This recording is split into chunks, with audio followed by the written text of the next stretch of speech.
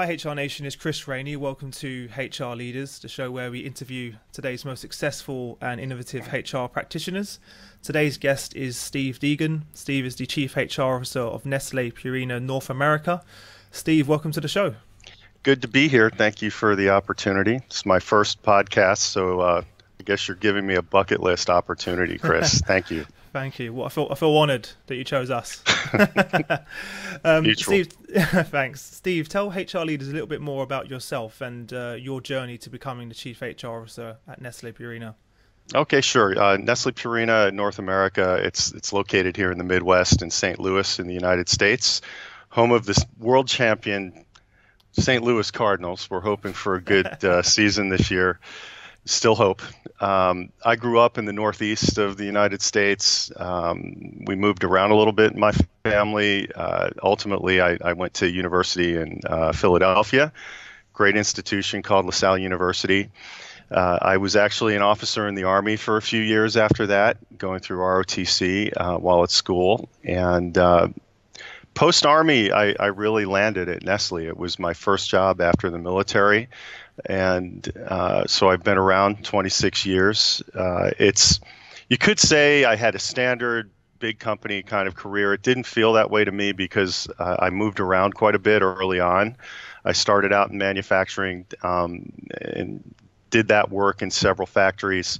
Uh, spent some time in logistics and even some time in industrial performance, doing classical industrial engineering uh, work things like time studies and on different projects. And it was there that I said I could say that maybe I got discovered uh, by the HR world in that uh, a vice president of HR and logistics at Nestle at the time uh, started.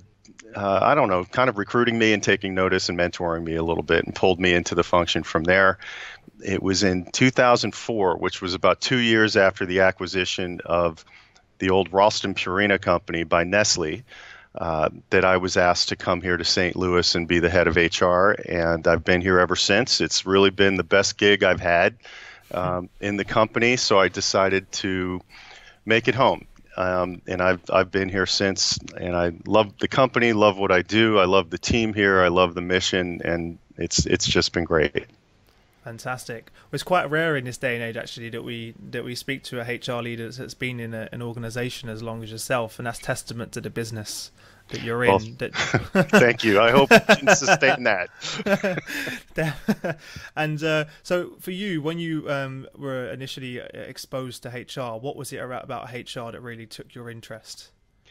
You know, I, I have to say at the time it was not pr- the function in particular as as much as being offered a path to be developed, and and a leader that took an interest in me. I, I you know to this day people I went to college with, here I, I have this job and they're like, you do what? Um, let's just say I didn't have a standard HR kind of personality, and uh, but you know at the time in our company uh, things were being rationalized. It was it was early to mid 90s. Um, a, a, lot of manufacturing in the United States in general, not just in Nestle, um, had too much capacity. So uh, there were less opportunities at the time in the traditional manufacturing career path, and along comes the set of HR. Come on over here. We'll see what you can do, and and that's how it started. Um, although I, I can looking back, and it's always this way you, you can see things that led you to it and and helped you develop a capacity for it and some understanding for it and some wisdom and and I can look back on things I did in the military and and you know even at the university and, and say yeah this this prepared me for that mm-hmm. Fantastic and where you are now obviously just long journey I'm sure you've seen the business go through different transformations and along that journey what really occupies your mind on a day-to-day basis yeah, you know, overall, it's got to be the business. So uh, there's no particular pattern um, in an HR role, and anyone in one of these jobs is you, have probably heard that a million times. So I, I, can't say there's one particular overwhelming thing in the function that that occupies my mind uh, on a daily basis. It, it's really sort of where's the business at, and then if you back away from that, uh, it's what am I doing to help? Uh, what problems am I helping to solve? And, and I tell my team all the time ultimately, we're here to solve problems. And if there's one thing then that uh, that occupies my mind, that's it. Who are we helping? Uh, who are mm-hmm. we developing? What problems are we solving? And how's it helping the business? And uh, like my biggest pet peeve is a recurring issue, something that's just sort of keep keeps coming up over and over again that that really hasn't been dealt with. Um, so I guess that's my lens uh, on the, sure. the day-to-day question. No, I think that's a that's a that's a that's a perfect answer. You know, looking at the business needs and then saying, you know, how in HR can we help the business achieve that? So it's a it's a perfect answer. So um, g- give us a little bit a bit of insight in terms of some of the work that you're doing now. Could you get, share one project or, or, or transformation that you're going through that you're that you're most proud of? Yeah, it's a good question, and and you know.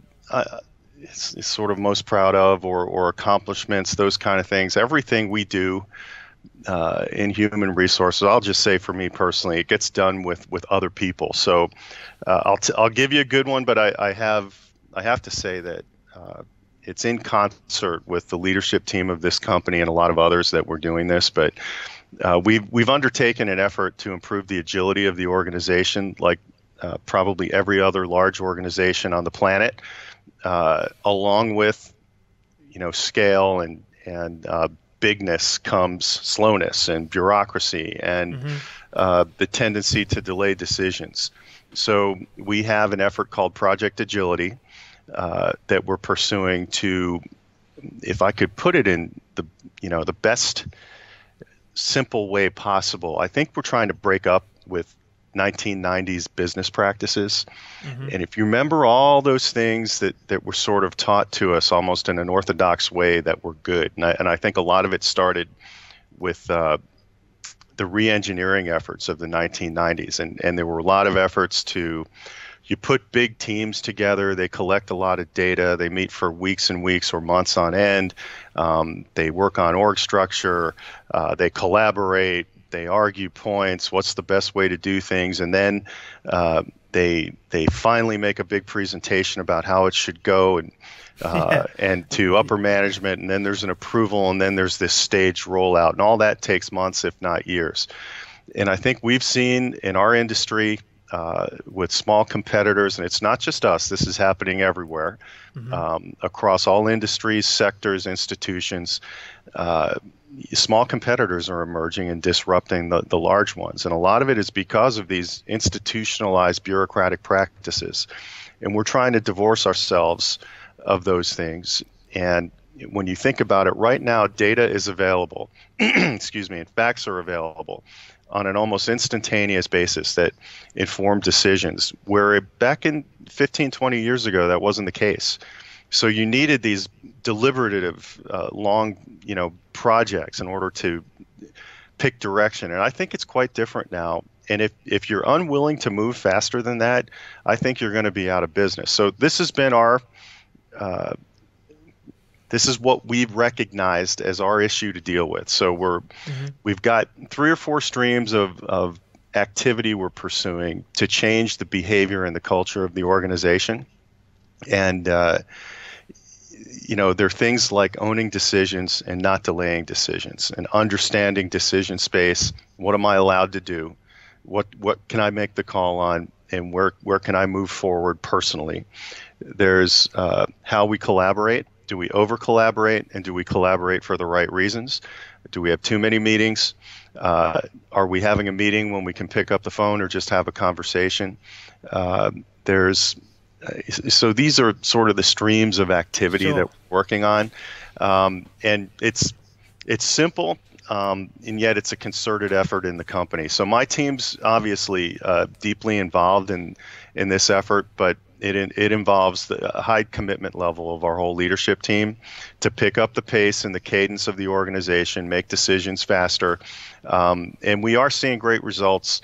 Um, in multiple streams in the company from uh, practices and procedures that used to take weeks now taking days. Um, and this is happening in every discipline you can think of supply chain procurement different parts of manufacturing. We're communicating faster. We're sharing information faster lot behind that but um, I'm excited about that. I, I think we're going to be able to make this thing, uh, this company, Purina, as fast as our small competitors uh, within a number of months. And and I, I feel it coming. The uh, my boss is excited about it and highly committed to it. And uh, it's a it's a good time to be here to watch it. Amazing. Um, I can definitely relate to that. For for I had a sort of a, a few years in my career where I was building innovation events. So I was working with innovation directors from the largest companies in the world, and uh, actually had a uh, private sort of uh, a meeting at Tesla. Uh, where mm-hmm. we had a sort of private tour of their of their facilities and some in, and and uh, an insight into their mindset in terms of innovation and speed, and uh, it was it was similar to what you're talking about now all of those organizations were on a similar scale to, to your own and it was yeah. all about speed you know keeping up with the competitors you know. By the time you make a decision you may have already missed the boat. There you go. Uh, so, so uh, it's great to hear that you guys are on, on, that journey. Who are the stakeholders that are involved in that? It's in, in, the I, I would just call it our entire leadership team. We did this together. Um, I have a great boss, and one of the things he agreed to, um, he he took over from a, another great boss that I had, a CEO that retired a few years ago.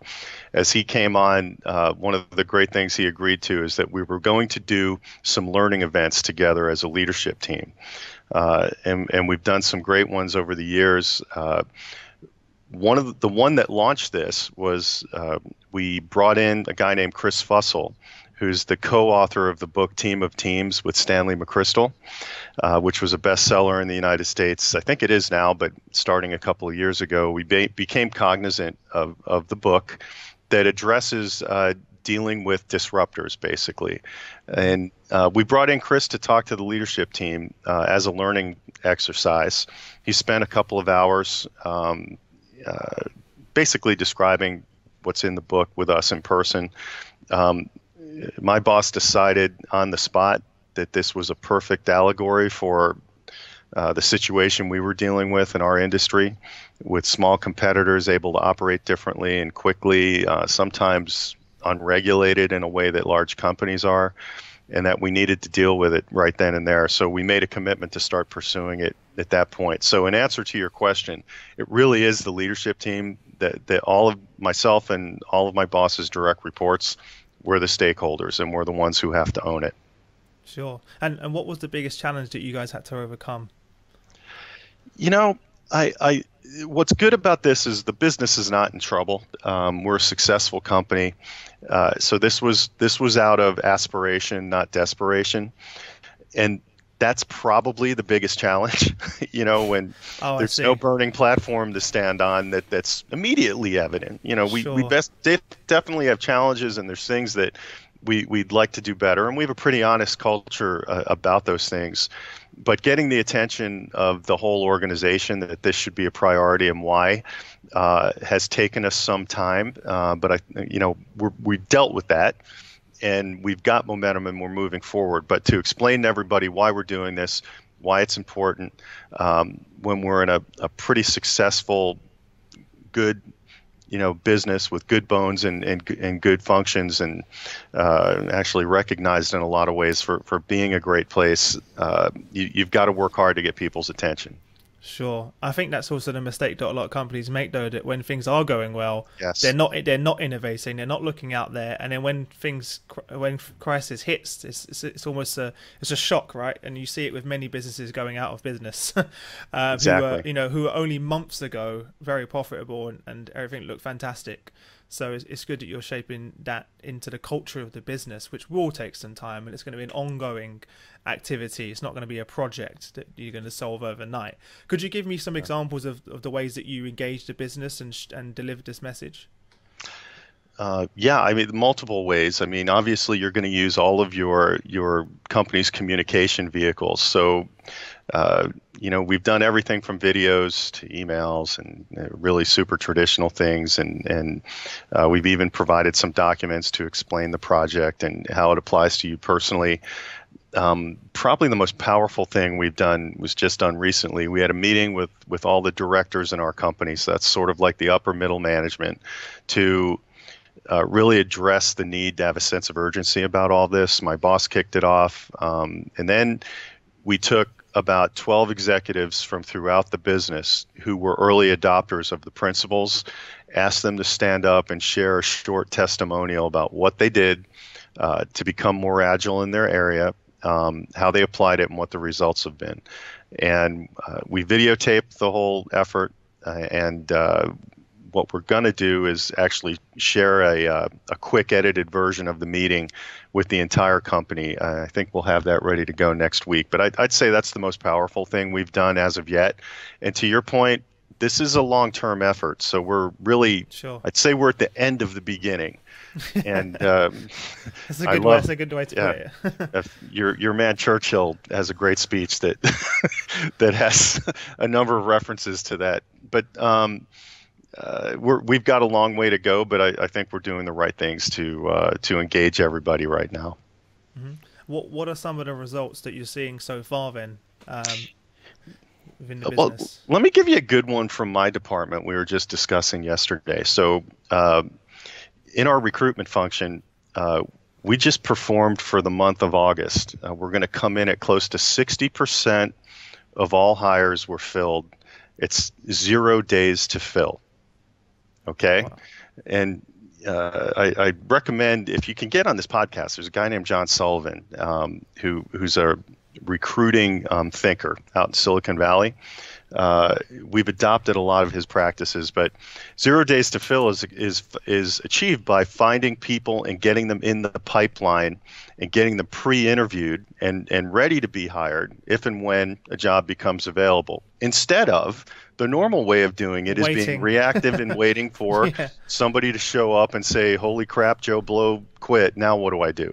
Mm-hmm. So this happens through really good partnership and and uh, collaboration across functions, obviously. So, um, and and the use of uh, analytics to create a good forecast so that you can build the trust of the business leaders to say, hey, we're anticipating you're going to have X amount of turnover in your area this year. So why don't we just build the pipeline? Let's get going. Um, and to, to, me, that's a great example of this. You think about um, all the time spent waiting in, in a open job situation and they are tough to fill jobs and if you wait till the person quits to, to find the next one you're going for 60 70 days of time to fill uh, or longer in, some cases. So the sooner you get started on building a queue, um, the better it is for anticipated openings. So, so that's one from human resources. Things like that are happening all over our company. We're we're uh, uh, we're seeing uh, reduced approval times for materials and ingredients and procurement. Uh, I'm, I'm not going to throw out the specifics on that, but we're very sure. proud of them. Uh, what we're doing is questioning all of our big company stuff nothing that would involve safety or of, of our con- ultimate consumers or pets, uh, but things that just were the way they were because we were in the pace of the 20th century. Mm-hmm. And we're going back and questioning all of it, and our, and our leaders are, are committed to doing it. So we're, we're seeing things like that. Uh, on, on the collaboration front, uh, we've instituted uh, very broad meetings for information sharing internally across functions um, and asking people to collaborate cross functionally far more than they ever have before. Um, and uh, some of these meetings are yielding insights that allow us to just operate more efficiently generally speaking. I'm a little reluctant to get too specific um, because oh, some of this stuff is is proprietary, and um, we're very proud of it, and it's helping us be more effective. And I don't want to tip off any of my evil HR competitors that might no. be uh, listening, specifically from the pet industry. sure, sure.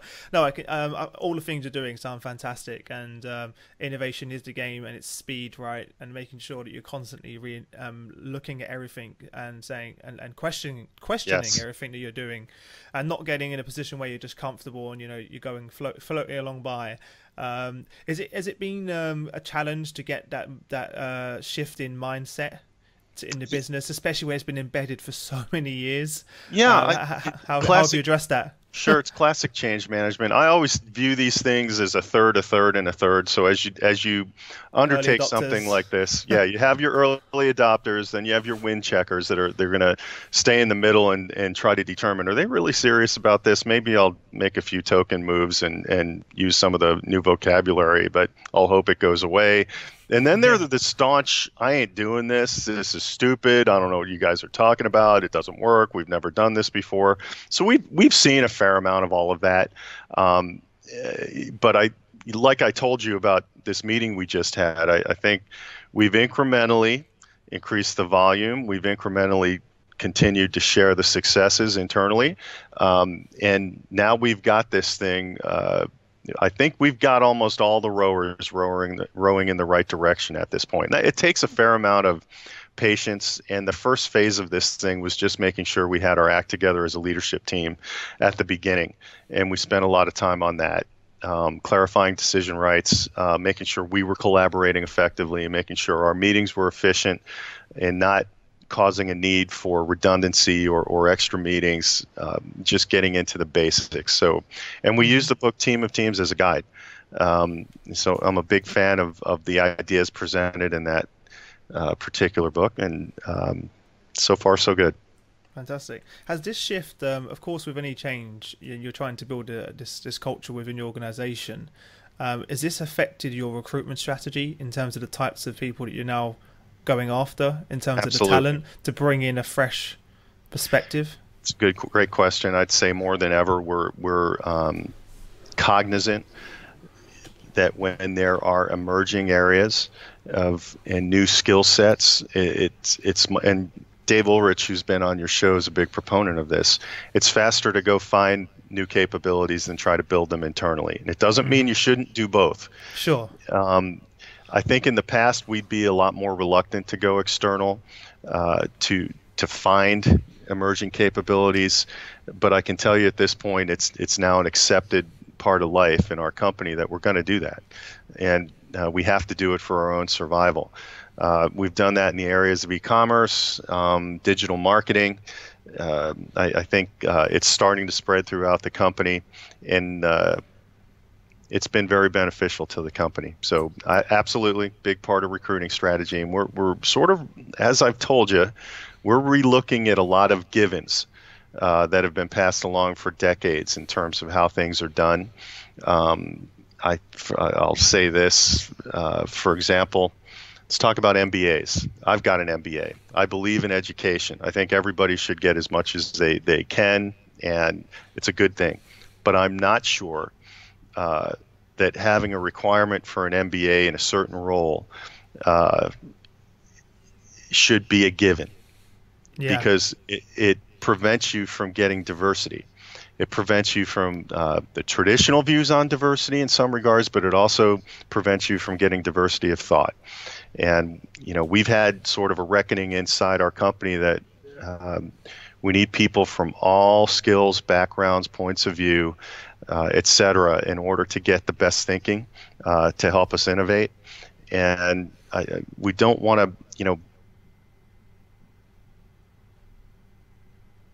be too this type of educational background be, because ultimately it's it's going to affect us. And I, I know of large CPG companies in the United States, for example, that would only hire uh, yes. MBAs from Yale and Harvard and other Ivy League schools uh, into their uh, certain departments like marketing, and they've failed and they've not done well, and and uh, they're under duress. And uh, this is our point of view. It's not everyone's point of view, and and we're not. And I, listen, I love MBAs, so don't get me wrong. It's it's not that we're not going to hire them, but we want to mix. I'm so that would be my uh, answer to that question. I think it's part of the, the innovation, the whole thing you're doing. That is also fundamentally part of that. Um, right. I didn't I, I, didn't go to university. I chose to go straight into into the career and learn on the job. And um, if anything, I was fast tracked yeah. along that journey by living it every single day yes. and being exposed being exposed to it. And it was quite quite um, surreal when obviously I started very young at 17 years old. By the time I was 23, I had a team of 20 people reporting into me, and every single one of those were university grads. Right, and with, you know what? With, with what you're doing, you're, you're curious. So uh, just by doing these podcasts like you're doing, you're learning, and you're talking to knuckleheads like me, and you come away with insights and and trends, and you can look at all of us and and look for the commonalities and the things that are different. Um, so there are multiple paths to success. There there is never just one path, and we all have to remember that. Yeah, And um, it, going back to your point earlier about hiring new skills into HR, I'm seeing that more and more now. Even today on LinkedIn, right. I think I came across a uh, probably a 20 uh, mid 20 year old um, chief HR officer for a startup, or um, I think I saw uh, a global head of HR analytics for a for a FTSE 100 company, and he looked no younger. He looked about 20 years old. Good um, for but him. He, but you know, but he has though. but he has that tech, tech, um, tech uh, technical insights and knowledge sure. to be able to um, go into HR and learn the soft skill of HR, but retain coming with the skills that he has. I think the other way around is very difficult to be a HR traditional HR leader and then learn, you know, the, the technical skills it's that's a lot more difficult. I think I'm not saying it can't be done, but if yeah. you're trying to learn about analytics, data, coding um, at, at, that age, it's just not possible. It, um, it, well, I would agree. I've tried. I've tried. it's very difficult. I tried. I tried for a very long time to learn how to code, and uh, I give. I've given up now. Yeah, we all have our gifts. um, yeah. Well, in terms of skills, um, in your experience and what you're seeing now, what skills in HR do you think are going to be more important in the future, and and how are you guys currently preparing for that? Yeah, so uh, another writer, speaker I, re- I really like to follow. There's a guy named Bob Johansen. Uh, he, he works with the Institute for the Future, uh, which is out in California, uh, unsurprisingly. And uh, we have him uh, speak to our emerging leaders uh, a couple times a, a, year. Fascinating person to, lo- to, to listen to. And um, you, are familiar with this term VUCA. It describes no, our current. Not. Okay. Okay, so so a lot of writers have come up with this. Uh, I think it originally came out of the Army War College uh, back around post 9/11 uh, years ago, and the, and the acronym stands for volatility, uncertain, complex, and ambiguous terms of how the world is right now, mm-hmm. and, and we're certainly you know feeling that as a, as a large organization. And Bob talks about the, the leaders of the future uh, being uh, or, or, needing to have the capability to turn that into his version of VUCA, which is um, providing vision, uh, understanding, clarity, and agility. And you think about that, it, it's another way of saying sort of being a rock in, in a time of uncertainty um, and not overreacting and providing calm. You know, my version of that, you know, in our company is to be curious externally, um, understand technology, and always be trying to work with it. I was reflecting on on our talk this morning, and I was rem- remembering, and I, you know, my early mentor in HR, uh, who I love the guy. He, he, he taught me a lot, but he's kind of funny. And from a previous generation, he used to refer to his his laptop as the jukebox, and he'd barely use it. And he'd jokingly say, "Well, I got to go see what's going on with the jukebox," and I don't want to be that guy.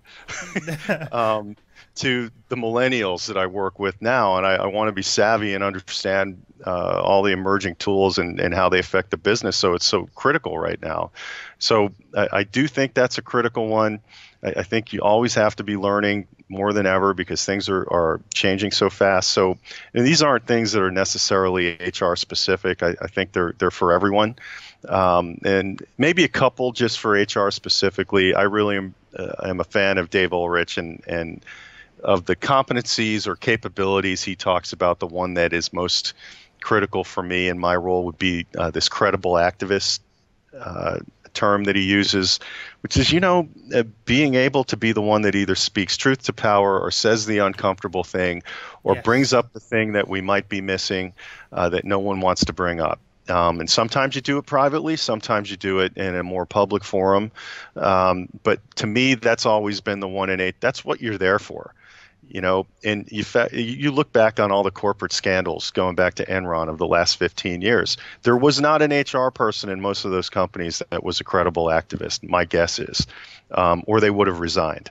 Um, and and I think it's a it's a critical piece of the role, and you got to have it. And the other one is being a good connector. Uh, who do people need to know? Who else needs to know? Who who, in their role, could benefit by knowing someone else that you're aware of because of your uh, uh, your position in the organization to look across it, and and how do you bring them together? Mm-hmm. Fantastic. And uh, I think uh, you know quite a few people brought that up recently in terms of the uh, the, the, courage to say to, to have a voice. Yes. And to and to speak up, even when it is, if if anything, it's even more important when it's uncomfortable to have a voice.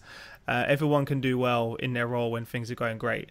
I think it's how you react when things aren't going great, yeah. and and the ability to be courageous and take that risk and be heard. So there's a lot to be said for that. So appreciate you sharing that insight.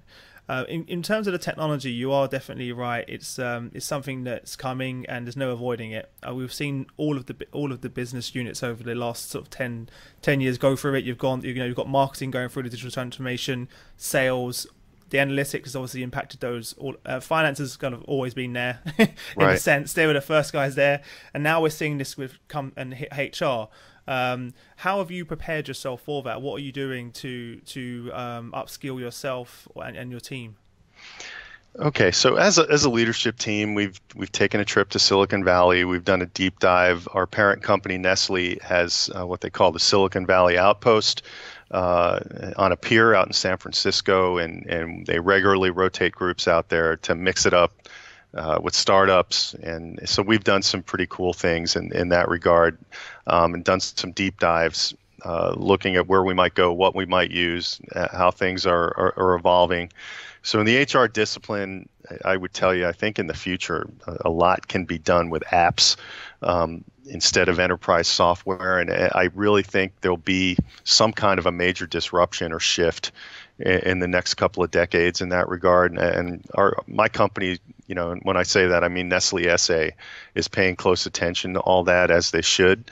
Uh, what I do personally, um, you know, here's an example. I just switched completely out of taking notes in a sort of physical diary, which I had done for years. I, I kept those little, um, you know, eight inch big notebooks with me everywhere I went to take notes, and I completely flipped got myself an iPad Pro, and, and I'm using a simple uh, OneNote app that's a Microsoft app uh, just to take all my notes, and, and uh, which is great. And most of them are, they're all the same. You know, they, if you yeah. if you talk to people, they're very opinionated on this. I I asked a few people, got a few recos, and went with this one. But um, I I do that now, and what's great about it, you used to worry about losing those notebooks or misplacing sure. them. Now, if it's on your iPad, at least it's going to be locked out, even if you lose that, so no one can get to your notes. But uh, uh, use WhatsApp a lot. I have a little WhatsApp channel for my HR leadership team so we communicate quickly on, on things that need to be shared and sometimes a joke or, or nonsense. But um, the tools there just for instantaneous communication. Um, you know, and I, you, you just pay attention. You know, you pay attention to what's going on out in in the world and make sure as things emerge. What's great, we have a great digital marketing group uh, here, and I just make sure that uh, I keep them exposed to my team, and as they stumble across new things, they teach them. And uh, I had someone come in and teach Snapchat to my leadership team. Uh, that's a that's a that's a funky one for someone in my generation. I wasn't, I wasn't expecting that at all. that must have been a very interesting session. yeah, it's not intuitive, and, and we, my theory is that's on purpose to keep the old guys out of it. But uh, yeah, um, we, we're we're trying to do things like that all the time just to maintain a certain level of awareness and wherewithal. Um, and, and you know, I think we're in this waiting period for a lot of things. All these things that are being talked about, like driverless cars and AI and robots, et cetera, et cetera.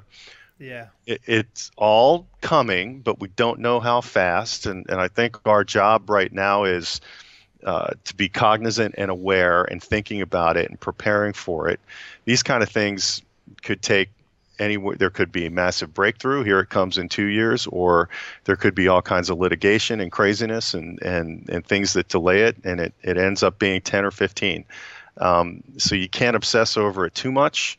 You know like the gig economy is a, is a good example of this. We're, we're a relationship with upwork it's the biggest freelancer uh, app and site in, in the U.S. We, have had a visit with them.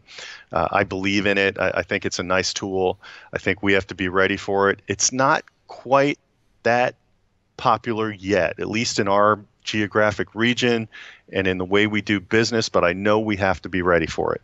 Could you um, give an example of what it is? Sorry, because I'm not aware of Upwork, that. Just briefly. Yeah. Okay, so Upwork is a community of freelancers Okay. So uh, it's people who work from their homes or anywhere that, that you can uh, engage with. So and, and ha- hire them to do gigs. So classic. Okay. okay. Uh, it's sort of like an Uber for anything. Sure. So, sure.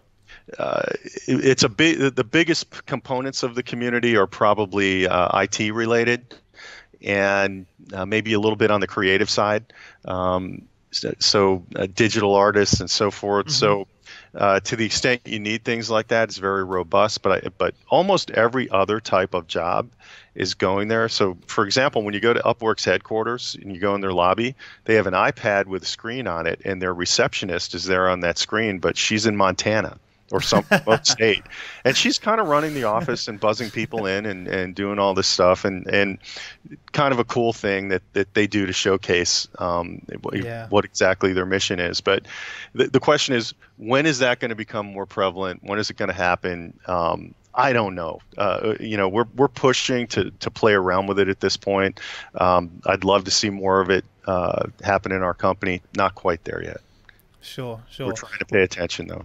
No, definitely. I think no one really knows exactly what the impact's going to be, and as you said, when when it's going to happen. Um, right. And I think the biggest problem for especially a lot of people in our community is there's so much information out there. Yes. So much inf- you don't really know what to what to believe or, what, or, or, or how to prepare. I think the only thing you can do, as you said, is just make sure that you know at least you know that, that it is coming and right. and to prepare as best as you can. Um, the good thing is, in the meantime, it's such an exciting time to be in HR. All of these new um, um, new skills that you're exposing to your teams, to the business.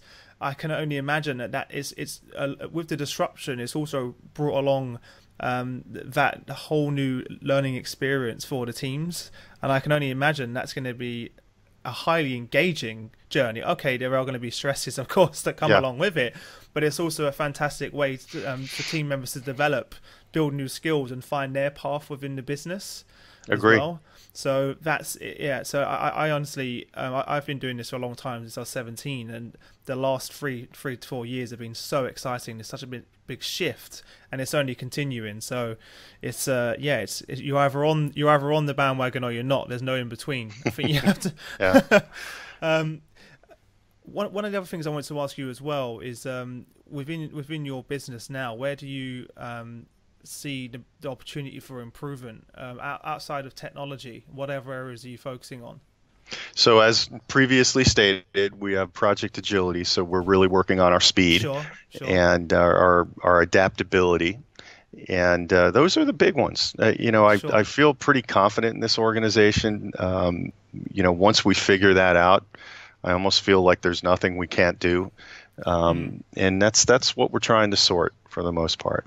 Fantastic. Well, that leads us nicely on to the quickfire round, where I'm going to ask you five questions, sure. and you have no more than 30 seconds to give us some amazing answers. okay. Are you ready? I'll do my best. what was the number one thing that was holding you personally back from becoming a, a leader in the field of HR? Yeah, I, tough one. I, you know, you're looking for self-disclosure, which I'm not always the best at. Uh, I would tell you, um, like a lot of people, probably being too task-oriented and and looking at what was right in front of me instead of um, doing a little bit more scanning and networking, and uh, sometimes that that can be a hindrance if you sure. just work your butt off on the thing that you're you're you're right on, but you're you're not really doing anything else uh, mm-hmm. There's multiple dimensions to the way we work, and early on, um, I needed to be uh, a little bit more aware of that. Okay, fantastic. Uh, what's the best piece of business advice that you've received?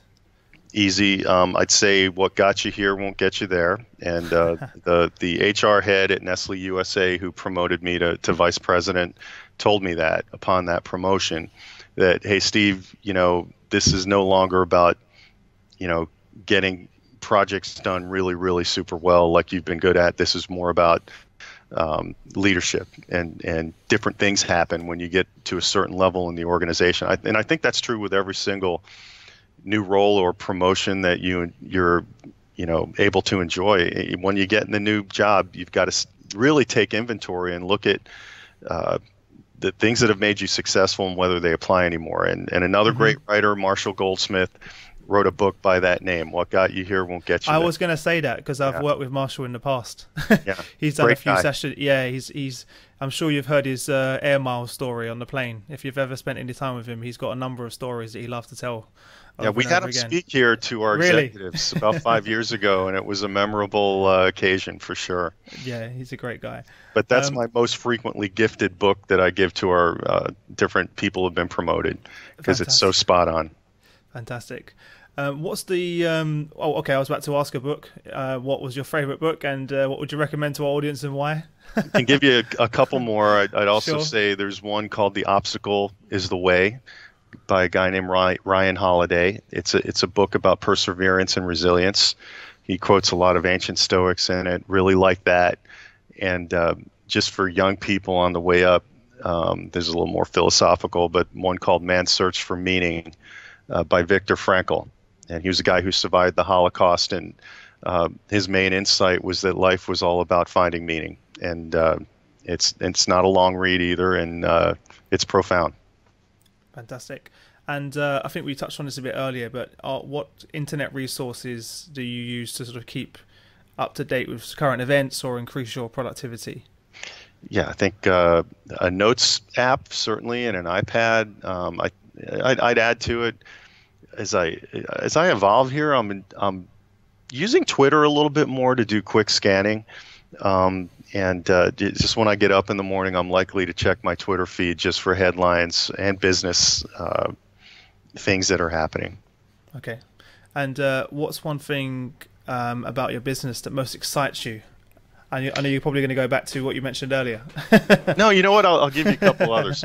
So, we we in the last couple of years have introduced some pretty exciting innovations. So one of them was a cat litter, believe it or not, that weighs less than half as much as traditional litter, and it solved a big problem for people purchasing that stuff uh, and getting it to their car. And it also can be shipped via e-commerce.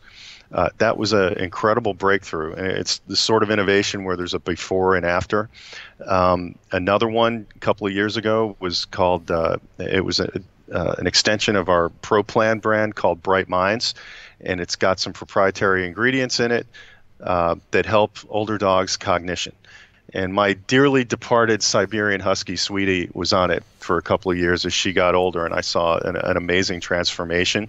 She actually learned how to open doors at the tender age of 13, and uh, uh, it is a breakthrough product. It, so what excites me the most is I know we have three or four more of those in the pipeline. I won't tell you what they are, but uh, we have an uh, amazing R and D function in this company, and uh, I just look forward to seeing how we're able to uh, make people's actually make the lives of people's pets better in the future. Fantastic. And I think certainly with the shift in mindset you have in the business, you're going to be producing a lot more of those products in the future. That's so what we're counting that's on. pr- pretty amazing. Well, look, Steve, you've given us some great actionable advice, and uh, I know our members will be a lot better off for it. So thank you very much for that. Um, give our listeners, if there's a message you want to put sort of put out to, to other HR leaders, what would that be? Give our listeners a sort of a parting piece of guidance. just real simple help others you know I, I think it's the ultimate job of leaders and hr people maybe even more so than everybody else. You got to help people every single day and find ways to do it. Sometimes no one will ever know. Sometimes they will. Um, sometimes it's telling someone the truth. Sometimes it's overtly helping someone who's in a bad situation. Uh, but to me all of that comes back to you in life if you do it and, and you have to find some way to do it every single day Fantastic. And what would be the best way for our members to, to reach out to you? hit me up on LinkedIn, um, and that's probably the best way. Love to hear from everybody. Fantastic. Well, look, again, thank you for joining us. Um, guys, make sure you head over to hrdleaders.com. You will find all the show notes from the episode, everything we're talking about, links to all of the books and uh, that were mentioned. Um, Steve, thank you again for sharing the journey with us, and uh, I wish you all the best until we next speak. Thank you, Chris. Enjoyed it.